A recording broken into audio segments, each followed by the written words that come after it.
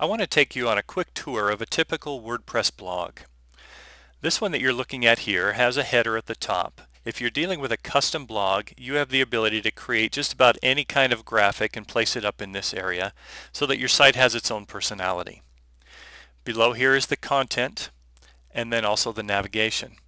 On the content side, what I've done here is designate my home page as my blog page, which means my newest posts will always remain on top and then posts that I made earlier appear down below in chronological order.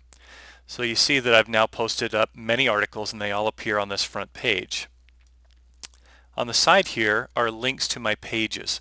Pages are different than posts because they have uh, static content, for instance an about page. And I'll click through here and you'll see the about page is where I might talk about myself or about the company or about the product.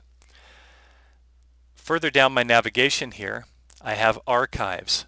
Archives are where your articles are placed by the system based on their date. Archives are just simply put in there dynamically so that I can go back to any given month and see all of the posts that were made in that particular month. In this case it was our newest post on top. Below archives I have categories. Categories are the distinctions that I make to each of my articles. For instance, this article here is posted in the business category. So if I click on the business category in my categories list, we should also see that article listed in that category with others that might be allocated to the business category. Going back to our home page, you can see that below categories I have my blogroll. This is also known as a link list. These are simply links that I want to share with my visitors that I place into the system myself. Below that is my admin or meta section where my login button is. I might also have an RSS feeds list where people can subscribe to my RSS feeds.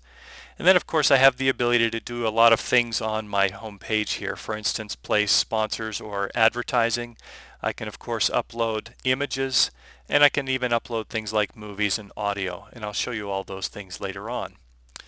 Right now let's log in though and go take a look at the, the back-end office.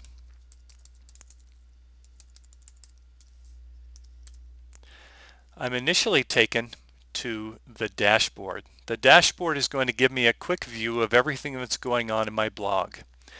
I can now go up here and navigate if I'm ready to write an article or a page. I have the ability to do that from this write tab. There we go. And I have the ability to write posts or pages, create links, and mail subscribers. I can also manage the content that I already have in my system by going to this Manage tab. You see here I have a list of all of the posts or I can go to this next sub-tab and see a list of all of the pages that I have in the system. And to edit one I can simply click on the title and it will take me into the edit window for that particular article and I have the ability then to modify the text or any of the settings.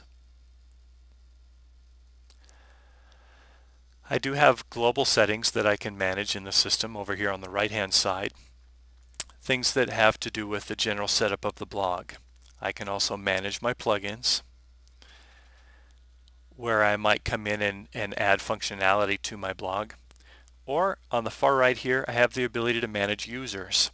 I can add new users to my system simply by adding a new user here. And I can assign users to be various levels of, of uh, authorship. For instance, if I have a business partner, I might want them to have admin rights, which gives them the rights to do everything in the system. Or I might just want them to be a contributor, which allows them to post content into the system and it waits there until I approve it before it goes live. When we're ready to log out, we simply click the log out button and we return to our login screen that confirms that we're logged out.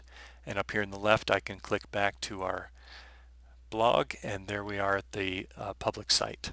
And that was a quick tour.